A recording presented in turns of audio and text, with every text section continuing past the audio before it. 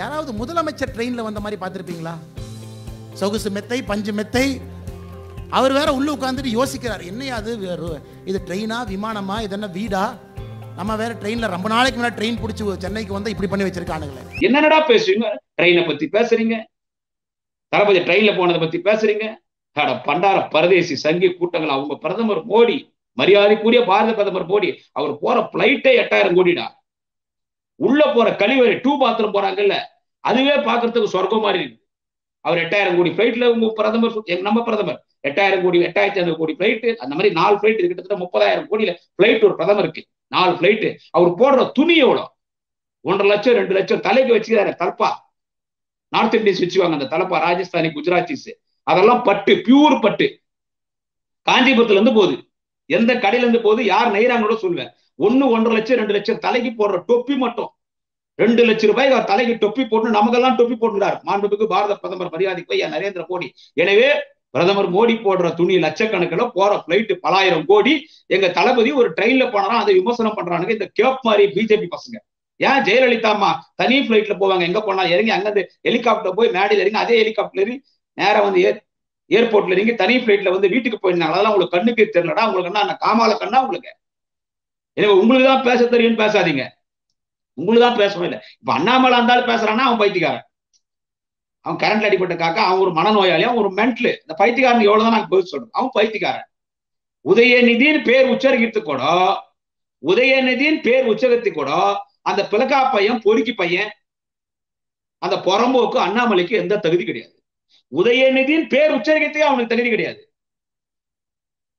அவர் இந்தந்த சினிமாவில் இப்படி நடிச்சார் இப்படி நடிச்சார் அப்படி நடிச்சாரு அப்படி நடிச்சார். இப்போ முதலமைச்சர் இப்போ முதலமைச்சருடைய புள்ள என்ற பார்வையில இன்னைக்கு அவர் வந்து அமைச்சர் ஆயிட்டார் முதலமைச்சர் என்ற பார்வையில அவர் இன்னைக்கு அமைச்சர் ஆகல லூசு மென்ட்ல ஆடு அரசியல் கோமாளி அண்ணாமலை அவருடைய நிர்வாக திறமை.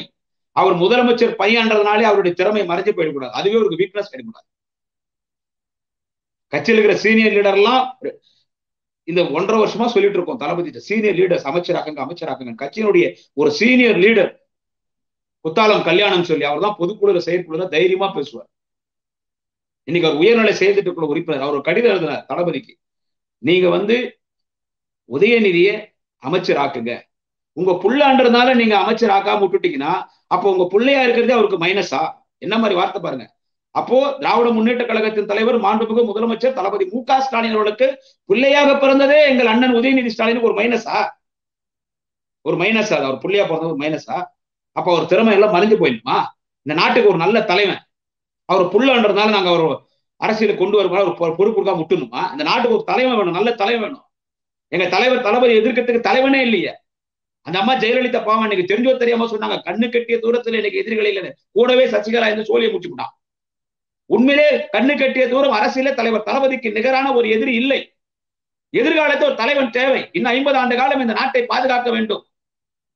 ஆரிய கூட்டம் திராவிட மண்ணை ஆரிய மண்ணாக மாற்ற வேண்டும் என்று துடித்துக் கொண்டிருக்கிறார். இந்த மண் என்றைக்கும் தமிழக மண் திராவிட மண்ணாக இருக்க வேண்டும் தந்தை பெரியாரின் மண்ணாக இருக்க வேண்டும் அறிஞர் அண்ணாவின் மண்ணாக இருக்க வேண்டும் தலைவர் கலைஞரின் மண்ணாக இருக்க வேண்டும் தலைவர் தளபதி மு க ஸ்டாலின் மண்ணாக இருக்க வேண்டும் என்று சொன்னால் ஒரு திராவிட இனத்தில் ஒரு தலைவன் உதயமாக வேண்டும். இதோ நேற்றைக்கு உதித்து விட்டார் எங்கள் மாண்புமிகு அண்ணன் உதயநிதி ஸ்டாலின். உதயநிதி ஸ்டாலின். இது பொறுக்கல. சங்கி கூட்டம் அதான் அவங்களுக்கு பிரச்சனை இப்ப சங்கிகளுக்கு ஆரிய கூட்டம் ஆர் எஸ் எஸ் பிஜேபிக்கு இப்ப ஏடிஎம்க்கு ஏதோ பேசணும்னு பேசுறாங்க. உண்மையிலே இப்ப பிஜேபிக்கு என்ன கோவம்னா எப்படியாவது இங்க வந்து நம்ம உள்ள வந்து காவி பூ காவி கொடிய பறக்க வச்சு இது ஆரிய மண்ணாக்கி பார்ப்பனியத்துக்கிட்ட இந்த மண்ணை அடிமை ஆக்கிடலான்னு பார்த்தா இன்னொரு ஐம்பது வருஷத்துக்கு ஒரு தலைவன் அடையாளம் காட்டாங்கடா. அப்பா பட்டத்து இளவரசருக்கு பட்டாபிஷேகம் நடக்காது பட்டத்து இளவரசருக்கு பட்டாபிஷேகம் நடக்காது. அப்படின்னு அண்ணாமலை பைத்தியக்கார பேசினே இல்ல. நாங்க சொல்ல பட்டத்து இளவரசர்.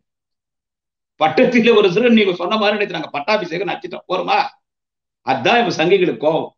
ஏன்னா அண்ணன் உதயநிதி ஆயிரம் கலைஞர். அண்ணன் உதயநிதி ஆயிரம் தளபதி ஸ்டாலின். இதை நல்லா மனசுல வச்சுக்கோ. என்ன? உங்க பிஜேபியும் ஆர் எஸ் எஸ் தமிழ்நாட்டுல இருந்து துண்டா காணும் துணியா காணணும் கோமணம் கூட இல்லாம ஓட்ட போறவரு எங்க இளைய தளபதி அண்ணன் உதயநிதி ஸ்டாலின். இவன் அண்ணாமலை அவன் பைத்திக்காரன் அவன் பேசுவான். அவருக்கு என்ன தகுதி இருக்குதுன்னு அண்ணாமலை உன் விஷயம் எல்லாம் பாரு உன் வீடியோ எல்லாம் எவ்வளவு வெளியே வர போய் பாரு. உன் வீடியோ. என்ன? எல்லாரையும் ஒழுக்குமா ஒழுக்கமா இருங்க பிஜேபி இல்லைன்னா வெளியே போயிடுங்கன்ற ஒழுக்கம் இல்லாதவன் யார் பிஜேபி என்று கேட்டா இந்த மென்டல் அண்ணாமலை நீ தான் முதல்ல பிஜேபி போட்டு வெளியே போக வேண்டியவன் நீதான் அது உன் கட்சி சமாச்சாரம். எனக்கு தேவையில்லைன்னா அவன் ஒரு பைத்தியக்காரன். இளைய தளபதி உதயநிதி ஸ்டாலின் குறித்து அவன் அவனோ ஒருத்தன் புறம்போக்கு பையன் கண்டவனுக்கு பிறந்தவன் அந்த ஆடு மாடுக்கு பிறந்தவன் அவன் அவனோ அமர் பிரசாத் ரெட்டியோ அமுல் பிரசாத் ரெட்டியோ அவன் வந்து அண்ணாமலைக்கு தூக்குச்சட்டி தூக்குறவன் அவன். ஆருத்ரா பைனான்ஸ் சொல்லி பலாயிரம் கோடி தமிழக மக்களை ஏமாற்றிட்டு ஓடி போட்டான் அவனுக்கு அடைக்கலம் கொடுத்து அவங்கிட்ட கிட்டத்தட்ட ஐநூறு அறுநூறு கோடி வாங்கி அத்த அண்ணாமலை கொடுத்தவன் தான் அந்த அமர் பிரசாத் ரெட்டின்னு சொல்லி அண்ணாமலைக்கு மாமாவில பாக்குறாங்க அவன் அவன் எவனா நாராயண திருப்பதி திருப்பதி நாராயணன் ஏண்டா? பண்டார பரதேசி சங்கி கூட்டங்களே ஊழல் பெருச்சாலை கொலைகாரர். எடப்பாடி பழனிசாமி இன்னும் இருக்கக்கூடிய உதிரி கட்சிகளே லெட்டர் பேட் கட்சிகளே. புலம்புங்கடா எவ்வளவு புலம்புல போலடா எரிஞ்சு சாவுங்க. உங்களுக்கு எங்கெங்க வலிக்குதோ வலிட்டோம். ஒரு தலைவன் இந்த நாட்டுக்கு அடையாளம் காட்டி விட்டோம் இனி இந்த தலைவன் தமிழகத்தை குறைந்தது ஐம்பது ஆண்டு காலம் இந்த திராவிட மண்ணை அவர் பாதுகாப்பார். எதிர்காலத்தில் தமிழகத்திற்கு தலைமையேற்பார் மாண்புமிகு அமைச்சர் உதயநிதி ஸ்டாலின் பணி திறக்க வாழ்த்துக்கள் நன்றி வணக்கம். திமுக கொள்கை பரப்பு துறை செயலாளர் குடியாத்தம் குமரன்.